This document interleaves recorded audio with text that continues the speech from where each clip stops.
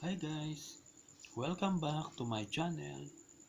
Ang vlog po natin ngayon ay about pattern making. I-share ko po sa inyo kung paano po ako mag-pattern ng pants, mga kaibigan.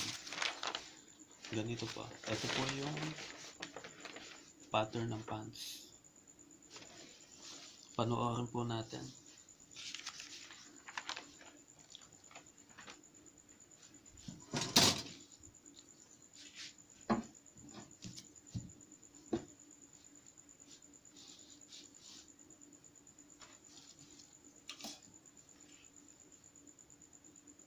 Ang haba pants na ipapattern po natin or length ay 37. Gagamit po tayo ng long roller at saka tape measure.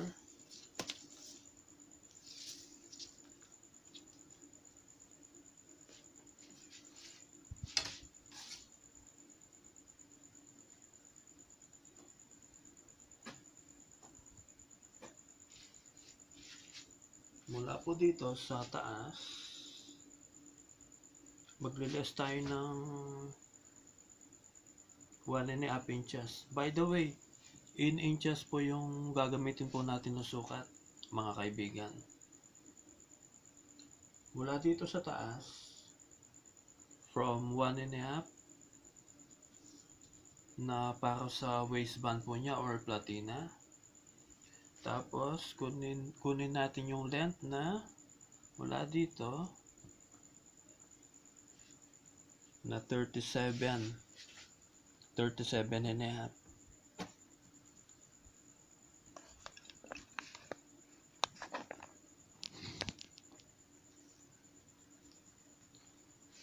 From 37 and a half, mag-allowance po tayo ng 2 inches. 2 inches para sa topi.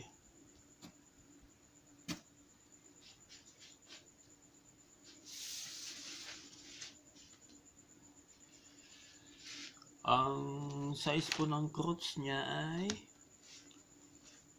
10 inches.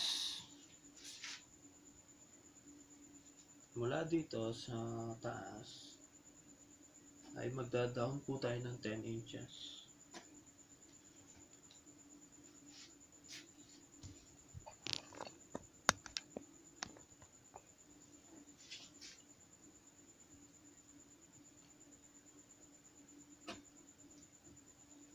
Then, ah, mula po dito sa crotch ay kukunin po natin yung sa tuhod po niya. Kukunin, kukunin natin yung gitna. Mag a-up tayo ng 1 and a half inches mula dito sa crotch niya. Then, yung kalahati, ay kunin natin from dito ay 29. Yung kalahati ng 29 ay 14 and a half. Ayun po.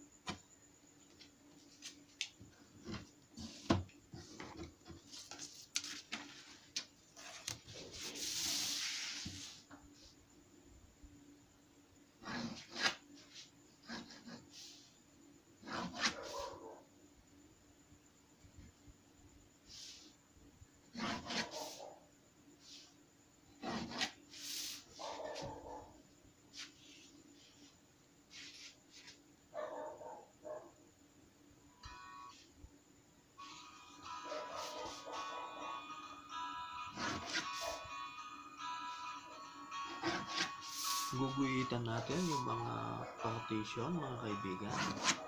Ayan po.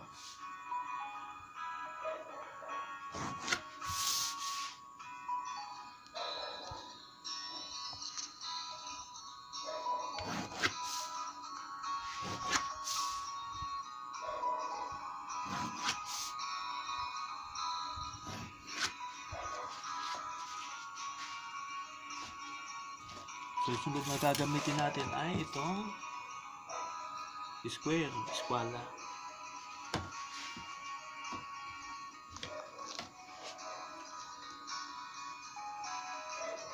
Mula dito sa side ay mag Sukat tayo ng 3 and a half na allowance. 3 and a half inches.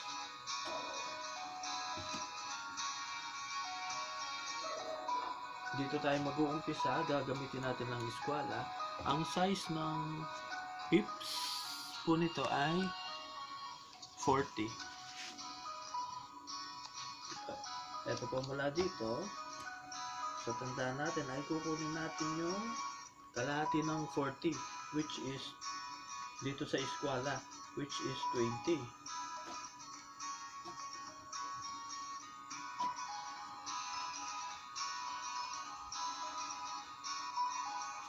Tapos mag-a-add po tayo ng 1 and 3 part.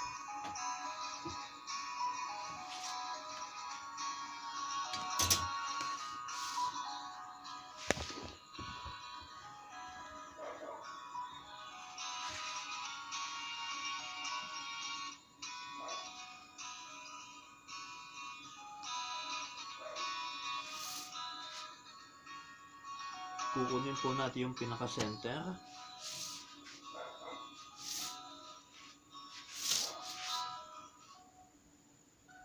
Which is uh, 8 and a half.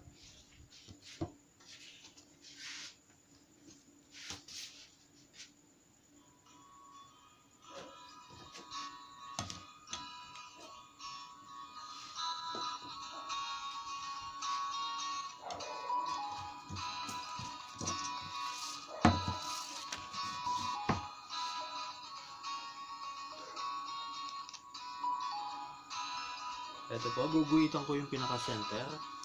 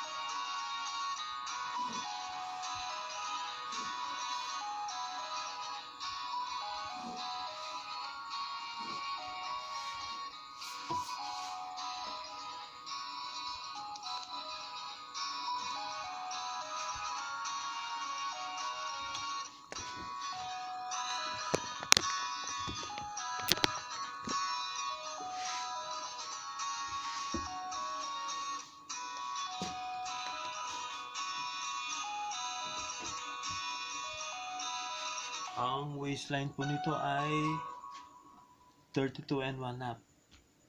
Ang ginagawa po natin pala na pattern ng pants ay panlalaki mga kaibigan. Mula dito sa taas ay gagamitan natin ng skwala para makuha po yung 32 and half na bewang.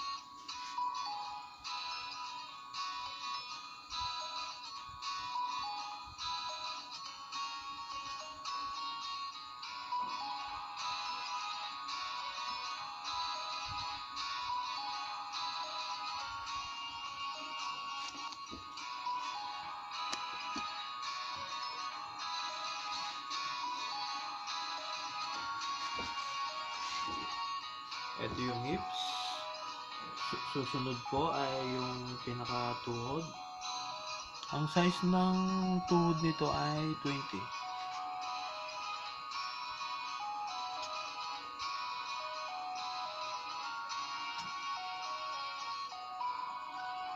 Ang laylaw bilayan po niya ay 16.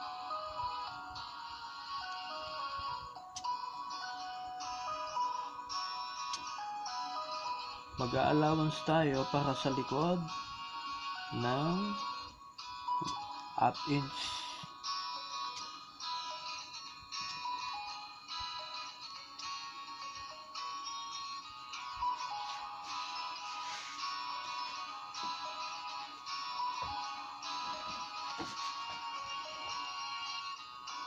Mula dito sa mga guhit natin mga kaibigan ay guguhitan ko na po. I-trace ko yung guhit. Itong nasa loob ay itong unang guguhitan ko ay front front part.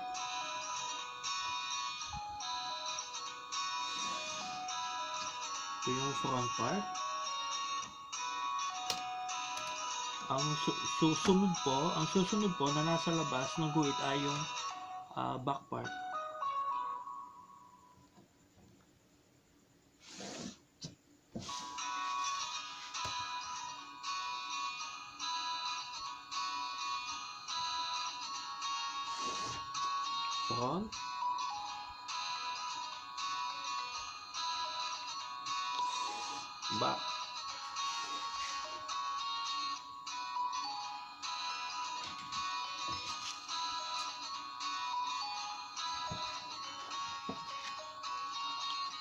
Dito sa bandang hita po niya ay gagamit na po tayo ng, ng curve.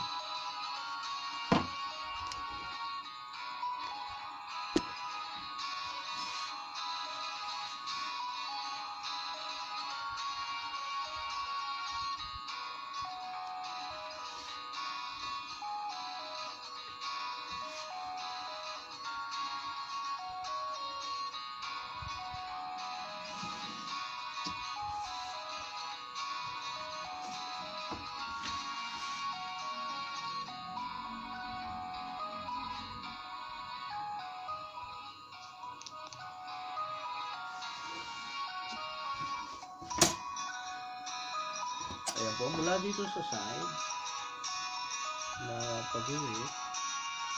Tapos, isunod natin yung dito sa bandang legs. Sa bandang from legs sa tuhod. Sa knee.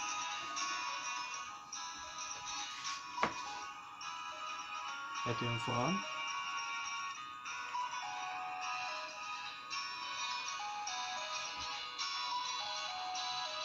Laylayan. Pinaka-alawan tapos sa side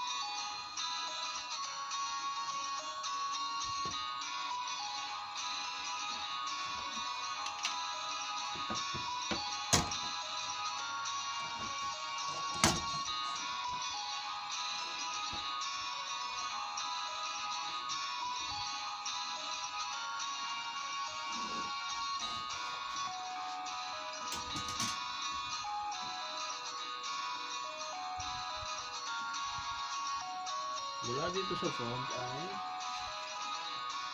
papasok po tayo ng around 2 inches para sa back niya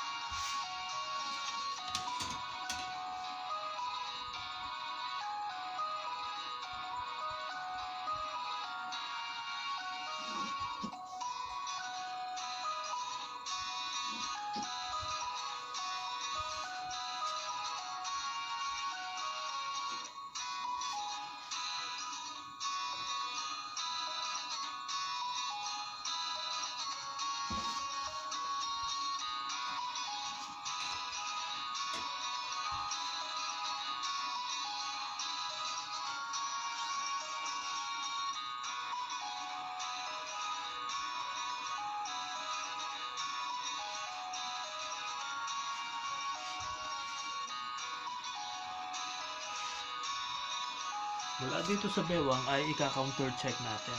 From waist na from waist na 32 and a.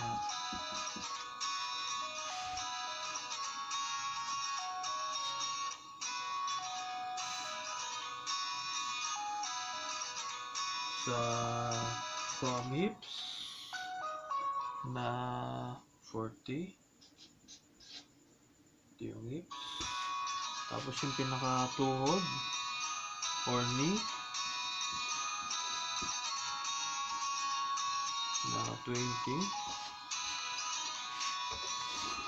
Tapos yung laylayan or yung pinaka down na 16 inches.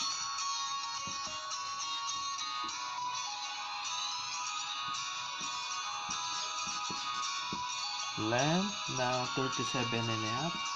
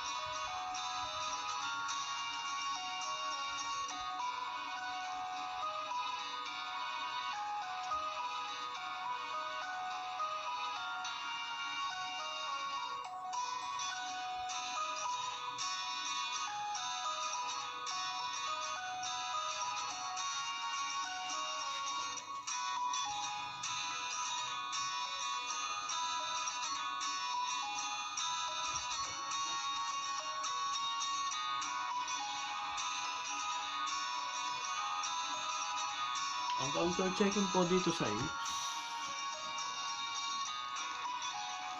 ay papasok po tayo ng 1 4 inch mula dito. Cut both sides. Then continuation yung likod ang hips niya ay 14 ito yung 40 plus 3 4 allowances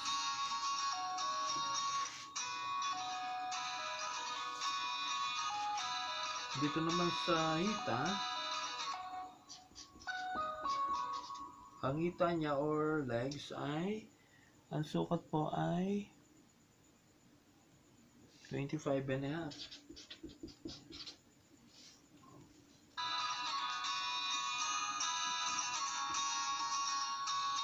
Mula dito papasok po, papasok po tayo. Mula dito sa both sides ay papasok tayo ng allowance na 1 fourth 1 fourth inch both sides then continue.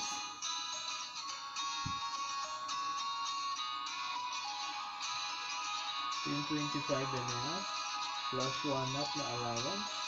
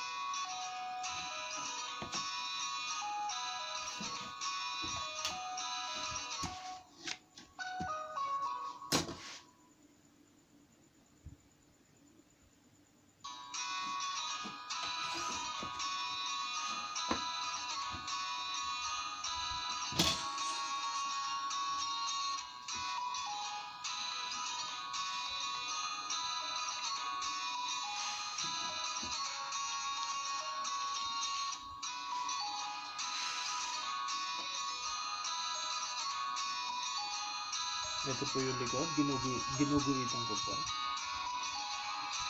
Ito yung pinaka crotch po niya. Ito yung front. Ito yung back.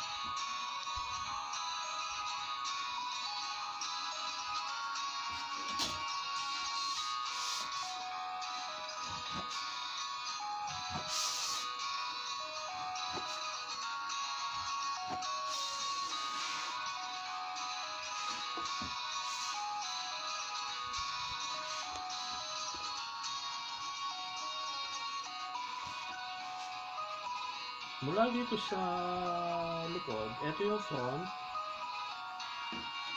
Ito yung front. Ito yung back. Mula dito sa back ay may tanda po tayo para sa pinaka-tax po niya, mga kaibigan.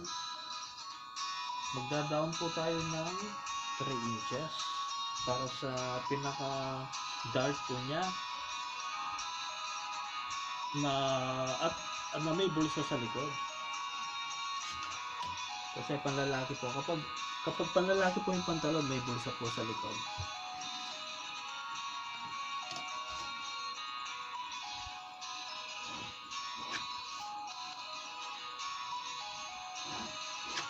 Ito po, ito yung pinakatanda para sa bulsa sa likod. Kunin natin yung center. 10 and 1 half. Ang kalahati niya ay 5 and 1 fourth. Yun ang pinaka-center niya. 5 and 1 fourth.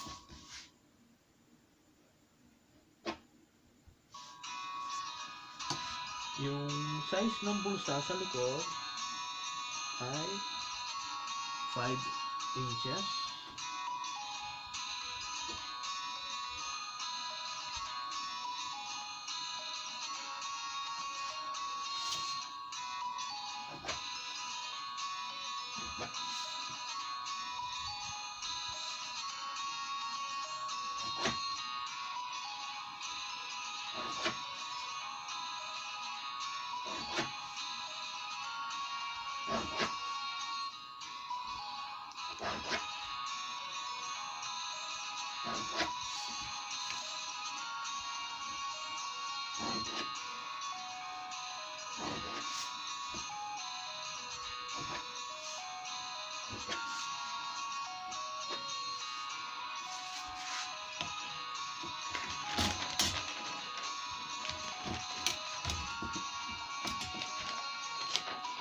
Ito po mga kaibigan.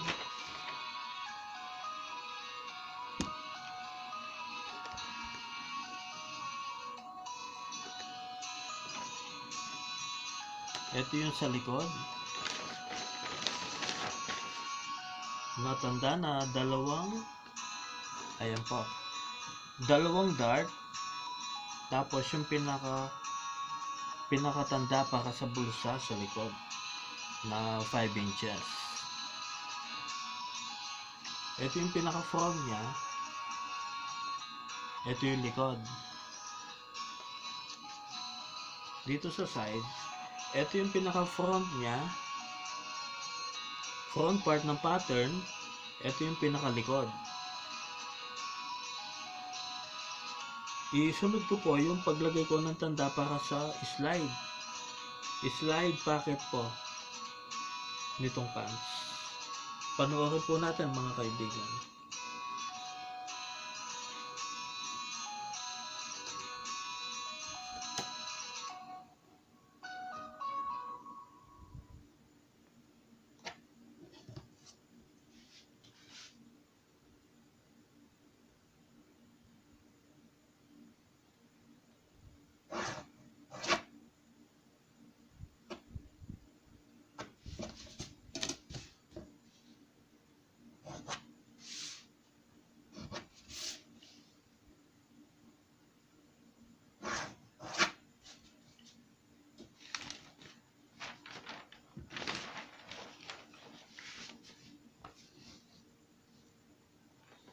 Ito na po mga kaibigan. Ito yung pinakatanda niya. Yung, sa pants po na panlalaki eh, ay may bulsa po. sa side na slide pocket. Ito po yung pinakatanda po niya sa pattern mga kaibigan.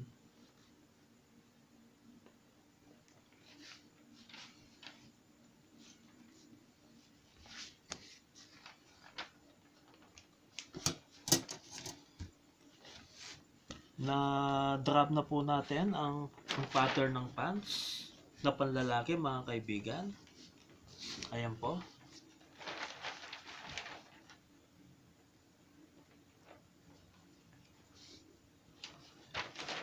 Ang susunod po nito ay ikakat ko na po itong pattern. Ito po ay combination. Combination ng front at part na pattern mga kaibigan. Yung dito sa pinakaloob ay ito po yung pinaka arap po ng pants. Yung dito sa labas ay yung likod or back part ng pants.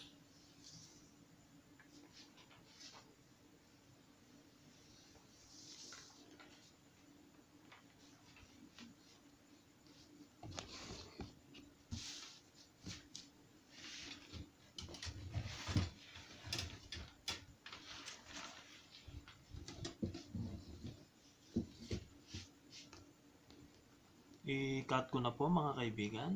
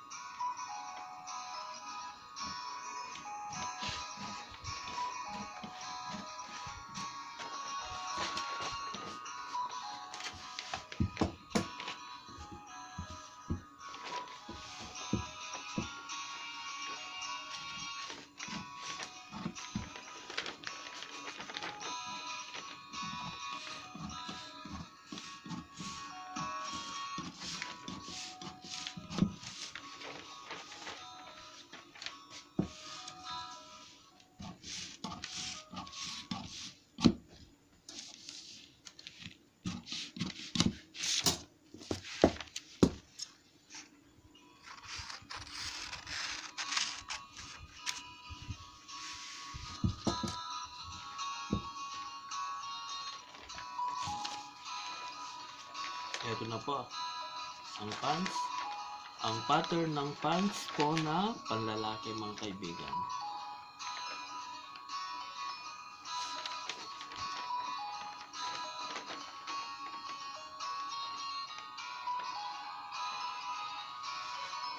And thank you for watching mga kaibigan. Hopefully may natutunan po sa channel na to. Maraming salamat po mga kaibigan. And see you po on my next vlog. Bye!